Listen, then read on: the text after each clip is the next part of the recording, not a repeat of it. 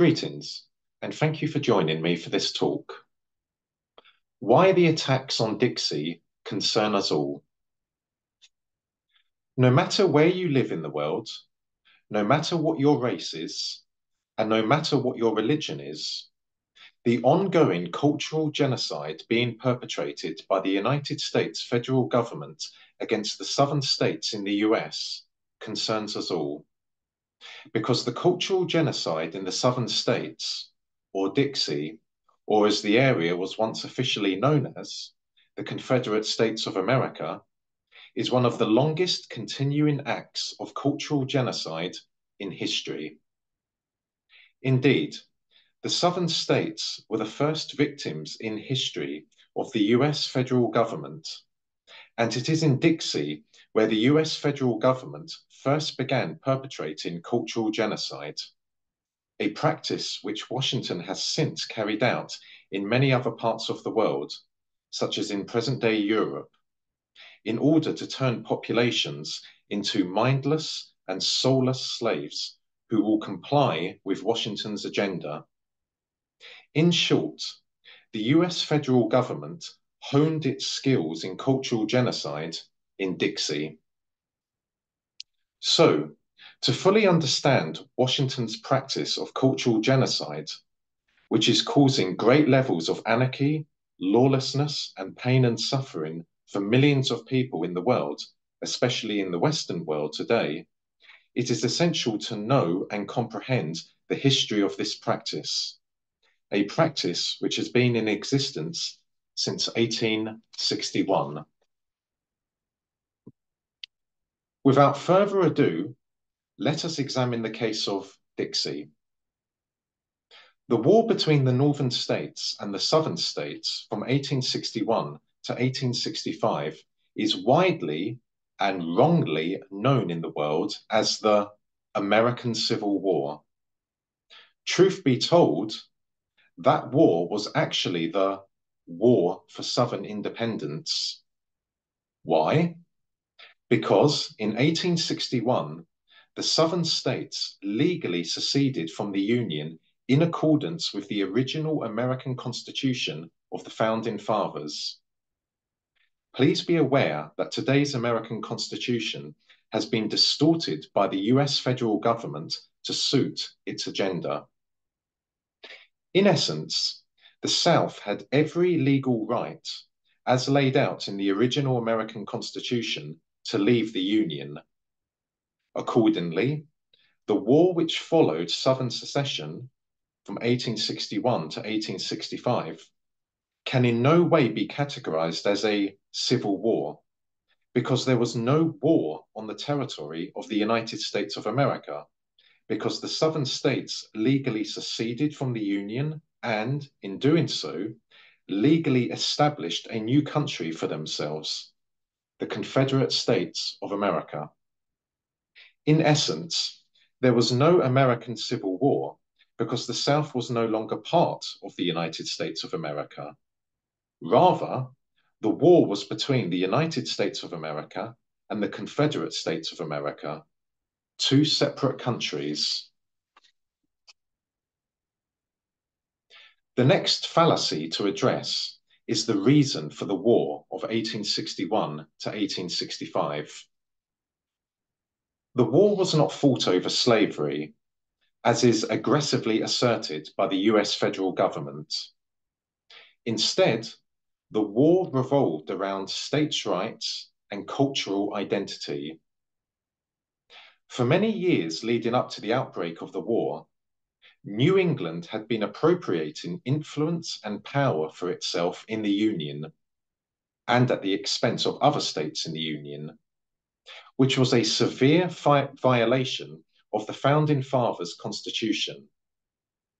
Having gathered considerable influence and power for itself, New England began wielding this in Washington.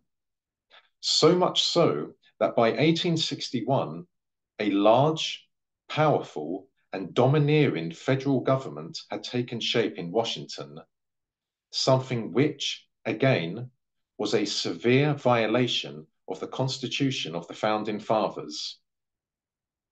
Having subverted the Union and remodeled it to suit its own aspirations, New England demanded that all of the other states in the Union bow down to its diktats.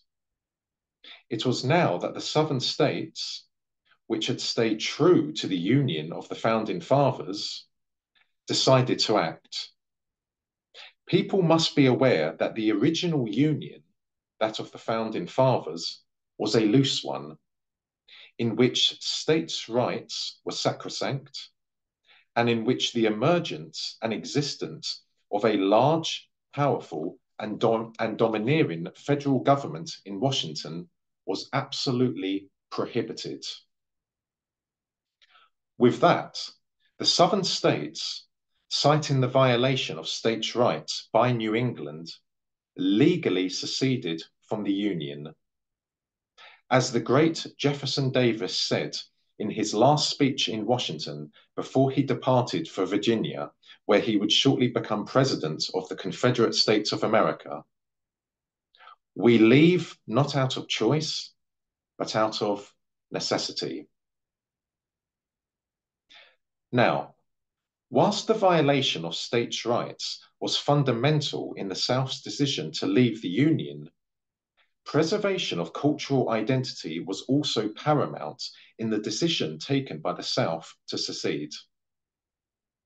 I do not intend to go into detail here concerning this matter, but in short, the cultural identity of New England was very distinct to that of the cultural identity of the South. Whilst New England's cultural identity brought to the region by Puritans from Norfolk in England, rested on the messianic view of itself, or messianic delusion, that it was superior to all others and was the saviour of the world, and thereby the guardian of the world, together with New England's money oriented and materialistic mindset. The identity of the southern states can be described in three words God and culture. Thus, because New England demanded that the South submit to New England's cultural identity, the southern states cited defense of their cultural identity and the threat to this from New England as also being at the heart of their decision to depart from the Union. The lie conceived and put out by the US federal government that the war from 1861 to 1865 was about abolishing slavery is deception at its most deceptive and stupidity at its most stupid. Again, I do not intend to venture into detail here concerning this matter, but suffice to say, the argument that the war was about slavery is easy to refute. So, for instance, by 1861, a mere 7% of the population of the southern states were slaveholders. Hence, 93% of southerners did not own slaves.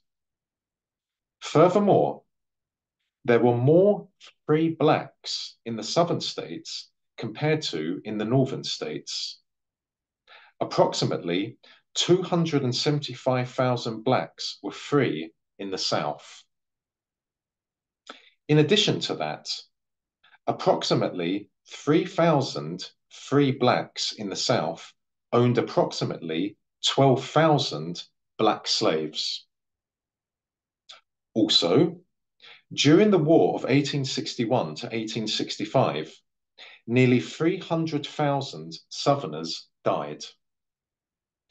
Now, are we seriously going to believe that 300,000 people gave their lives in defense of slavery? The argument is both idiotic and risible.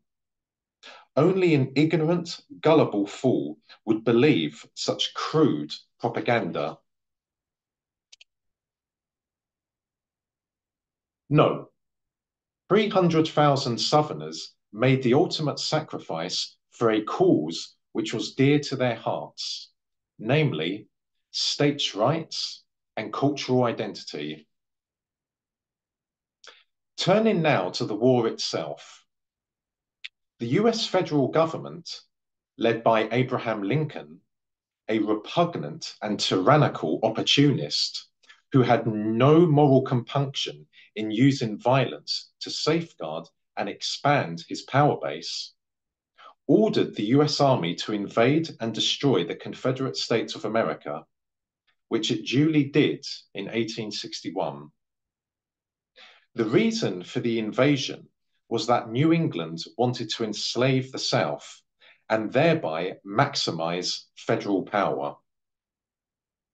The outcome of the war is known, but I will say this.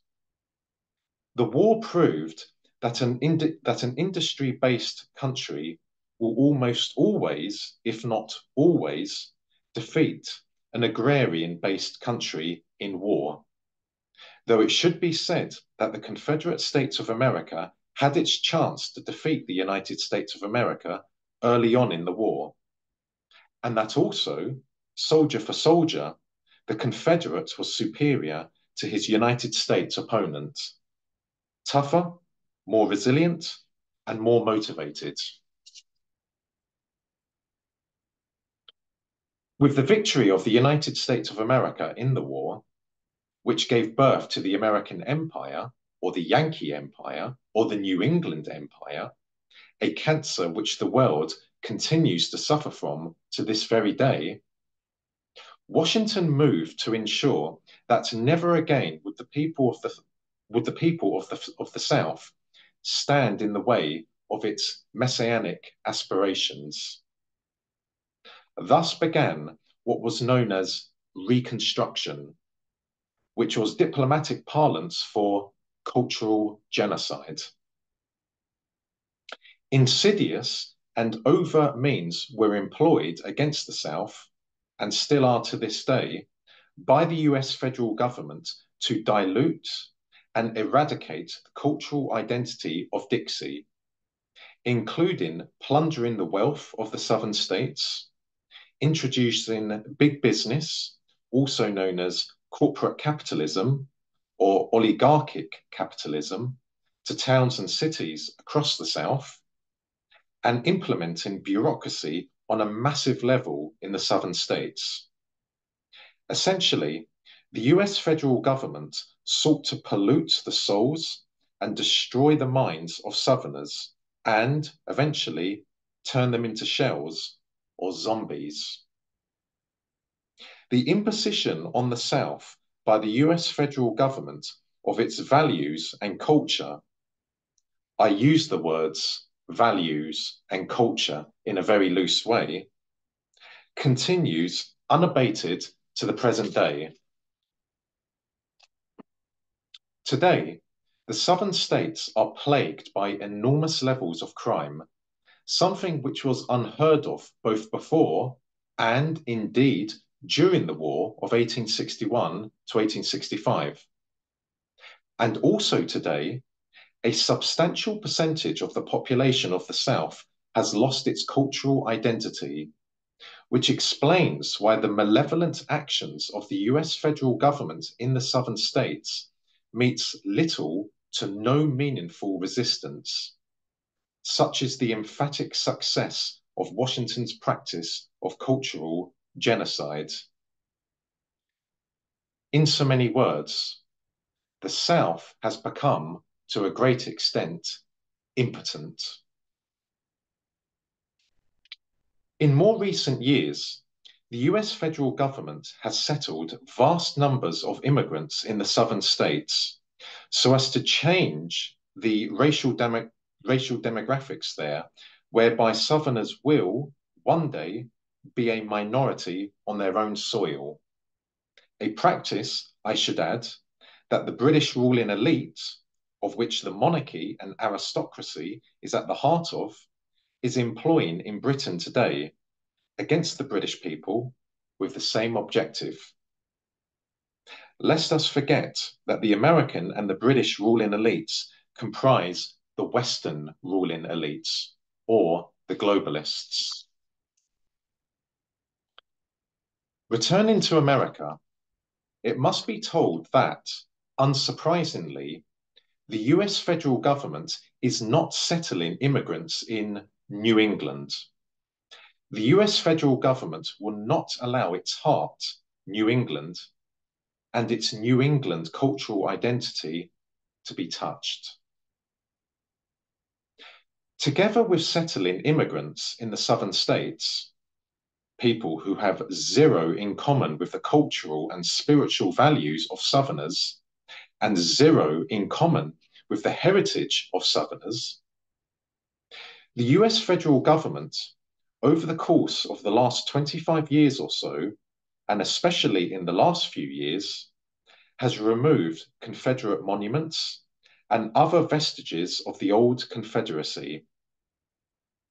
I believe that, in due course, the federal government will eradicate Confederate graves ban the display in public and in private of Confederate symbols, such as the Confederate battle flag, and make it illegal to publicly and privately express support for the Confederacy. Through Hollywood, mainstream media, so called NGOs, and so called human rights groups, the US federal government depicts Southerners as backward, uneducated, stupid, barely literate, dull, lazy, dirty, far right, white supremacists, and neo Nazis. And as people who are abnormal because they are church going and God fearing. In essence, the US federal government is telling the rest of America and the rest of the world that Southerners are a deviation and thereby not true Americans, which, when read between the lines, means Southerners should have no place in America. The US federal government portrays Southerners as, at best, semi human and, at worst, as subhuman because, as I said earlier on, Washington fears Southerners because Southerners, by which I mean unreconstructed Southerners, stand in the way of the agenda of the US federal government. Wherever in the world you find the Western ruling elites, you find cancer the American and the British ruling elites, who, as I have said, form the Western ruling elites or the globalists, perpetrate cultural genocide in order to turn people into mindless and soulless slaves, so that their so called heaven on earth, which in reality is hell on earth, can be achieved. The Western ruling elites are perpetrating cultural genocide in many countries today, from America to Canada to Britain to France to Germany to Italy to Serbia to Australia, to name but a few. But it is in Dixie where the American ruling elite first tested and perfected the practice of cultural genocide. From Dixie, the American ruling elite together with the British ruling elite, have carried out that diabolical practice, and I use the word diabolical in a strict biblical sense, in all four corners of the world. I urge people to learn the complete history of the US federal government's practice of cultural genocide. And to accomplish this, people must learn about the calamity which struck the southern states in 1861 and has been striking the South ever since. To understand what is happening today in the Western world, one must start in Dixie. Thank you very much.